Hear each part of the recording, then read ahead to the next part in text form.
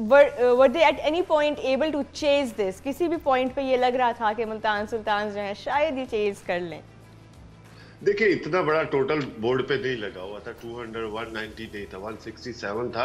और इनिंग्स लेके चलते पार्टनरशिप लगाते, जैसा कि आप देखिए कराची सेकंड विकेट पे जो पार्टनरशिप लगी है तो हम पहले भी इसी बात पे बोलते हैं कि छोटी छोटी पार्टनरशिप लगाते तो ये कोई इतना नहीं था जिस तरह मुल्तान सुल्तान के पास बैटिंग डेप्थ है, उनके पास छठे, सातवें नंबर तक बैटिंग लाइनअप थी। तो जिस तरह से एक्सपीरियंस साइड है, वो पहले ही टॉप पे चल रहे हैं, चल रहे हैं, अभी भी मेरे ख्याल टॉप पे ही है।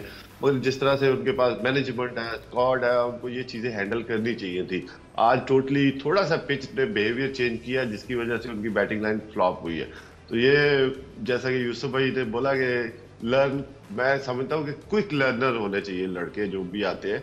अगर आपने वही चीज़ एक साल में लर्न कर लेनी है तो आप बजाय के तीन चार साल में जाके लर्न करें। इस इस तरह से टाइम नहीं मिलता। अगर आप क्विक लर्नर नहीं है तो आप अपनी जगह नहीं बनाओगे टीम में। और वहाँ पे हर एक बंदे के पीछे एक बैकअप में बंदा लगा होता है। तो you have to be quick learner और ये चीज़ें सीखनी चाहिए कि टर्निंग ट्रैक पे कैसे खेलना जो कि आज जो सुल्तान लाल सुल्तान की जानब से टोटली फ्लॉप नज़र आया शो चले, आज जो था वो कराची की लेग का आखिरी मैच था। इसके बाद अब कल से जो है सारे मैचेस आज से बल्कि लाहौर में शुरू होंगे। And then of course Lahore और पिंडी की depending on you know the rest of the scenario working out in PCB's favour and we hope that it does अभी तक तो कोई उस पर भी खबर नहीं आई है। We are still waiting for final confirmation but it looks like today's match will go on in Lahore shortly but otherwise अभी भी ये यूसुफ भाई कुछ कोई एग्रीमेंट रीच नहीं हो पाया। और सुनने में ही आ रहा है कि शायद जो है यूएई में शिफ्ट करा दी जाए। कुछ लोग यूएसए भी लिख रहे हैं। I am not sure how truth true those rumours are because as of now कुछ भी क्लियरली पीसीबी की तरफ़ से नहीं आया। बट क्या लगता है भी अगर ये यूएई मूव हो गई, फिर तो बहुत ज़्यादा खर्चा हो जाएगा इस पूरी पहली बात तो ये कि ये सोशल मीडिया पे तो कोई भी कुछ भी कह सकता है। उनको तो कोई रोक ही नहीं सकता ना। कोई दुनिया में आज तक नहीं आया क्योंकि सोशल मीडिया पे किसी भी इंसान को रोक ले। तो वो बात तो मानने वाली है ही नहीं कि दुबई या वहाँ चली जाएगी। और वैसे भी जैसे खर्चा आपने बताया कि डबल हो जाना अगर अमेरिका चलेगा तो उससे भी ज़्यादा हो जाएगा। और उसके लिए पहले वीज़े भी लगवाने हैं। तो वीज़े में भी टाइम लग जाएगा। आसिफ शायद हमारी हेल्प कर सके थोड़े मैं इस बात में कोई हेल्प नहीं हो सकती।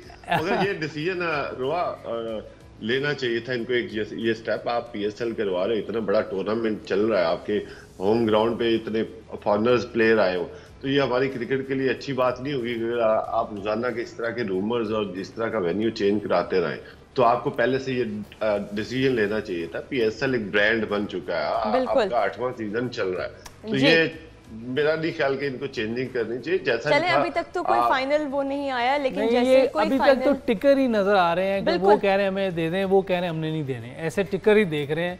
अब कोई किसी के अगर आप मुँह से बात सुनेंगे तो फिर बात Karachi Kings versus Multan Sultan just wrapped up Multan Sultan की बैटिंग जो कि अभी तक काफ़ी स्ट्रॉन्ग और रिलायबल जा रही थी ख़ास तौर पे जो टॉप ऑर्डर उनका शान मसूद रायली रुसो मोहम्मद रिजवान ख़ास तौर पे रिजवान और रायली रसो जिस तरह के फॉर्म में चल रहे हैं और जैसा उनका मिडिल ऑर्डर डिपेंडेबल जा रहा था उनका उनके फिनिशर्स भी काफ़ी डिपेंडेबल लग, लग रहे थे हमें मुल्तान की लेग में। आज जो है वो थोड़ा सा डगमगा गए because the ball was turning it was a new wicket it was a new venue for them और थोड़ा सा जो है सामने वाली टीम को भी दाद देनी होगी जहाँ जिस तरह बॉलिंग की तब्रेज शमसी ने it was a it was a brilliant spell of bowling and Imad Wasim again आज भी काफ़ी लकी रहे because everything went in his favour despite losing the toss अभी यहाँ पे मुल्तान सुल्तान की बैटिंग को थोड़ा सा और एनालाइज करते हैं। मेरे साथ मोहम्मद यूसुफ मौजूद हैं। यूसुफ भाई, मुल्तान सुल्तान की बैटिंग के ऊपर हमने इतनी डिस्कशंस की हुई हैं। आज फाइनली वो दिन आ गया जिस पर थोड़ा जो है उनको एक, जिसे कहते हैं वेकअप कॉल मिली है शायद के कंडीशंस जो हैं वो हमेशा आपके फेवर में नहीं होंगी।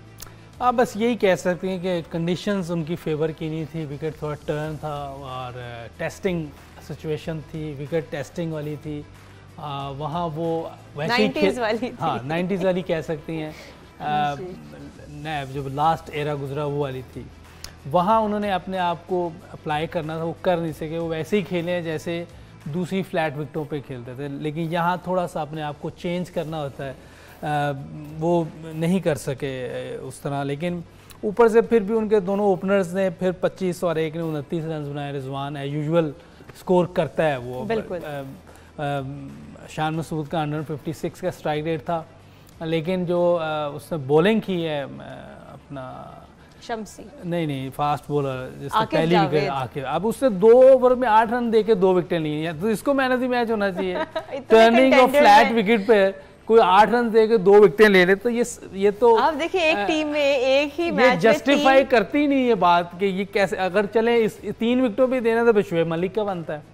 उसने साढ़े तीन ओवर में सोलह रन दे के तीन विकेट ये बाकी में समझ में ये तो जस्टिफाई करते ही नहीं है ये किसने दिया है क्यों दिया है कुछ समझ से बाहर शमसी नो डाउट बड़ा ज़बरदस्त स्पेल किया लेकिन जिस मोमेंट पे वो आके आउट कर रहे थे तब तक मैच प्रीटी मच उनके हाथ हाँ, में ही था। क्योंकि ये पहली जो विकेट थी जो इसने लिए फास्ट बॉलर ने इस विकेट पर और आठ रन दे के दो विकटें हैं तो मेरे तो ख्याल है यहाँ पर इसको देने का बॉलर को ही देना है हमें आई थिंक हमें अपनी तरफ़ से ना एक प्लेयर ऑफ़ द मैच इस शो तो की तरफ़ से ये मेरे हिसाब से तो शमसी कहीं से भी जस्टिफाई नहीं करता। जिसने भी दिया उसने अपनी पसंद नापसंद या शायद ओवरसीज प्लेयर है इसलिए दे दिया बहरहाल बाकी बैटिंग तो इनकी बिल्कुल ही और मैं समझता हूँ खुशदिल शाह के साथ आ, थोड़ा सही नहीं है क्योंकि उसका नंबर मुसलसल छठा नंबर है। मेरी तो सम, आज शायद ऊपर आया है।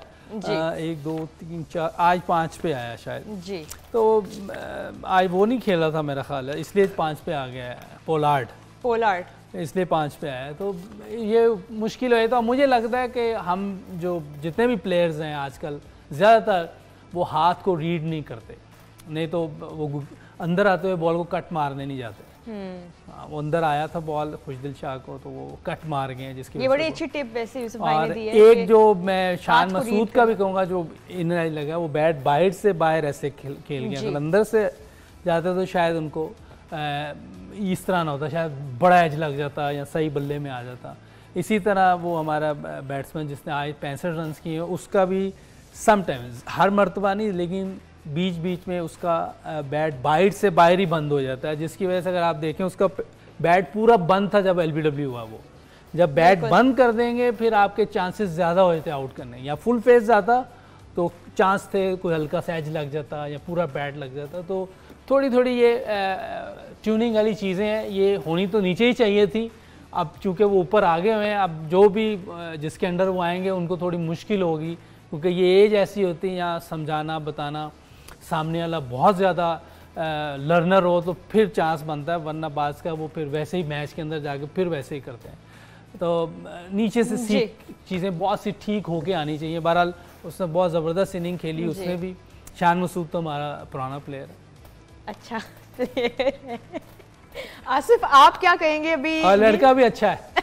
ये इसी का वेट करी थी। आसिफ, ये बैटिंग कार्ड मुल्तान सुल्तान का देख के आप क्या कहेंगे? Were they at any point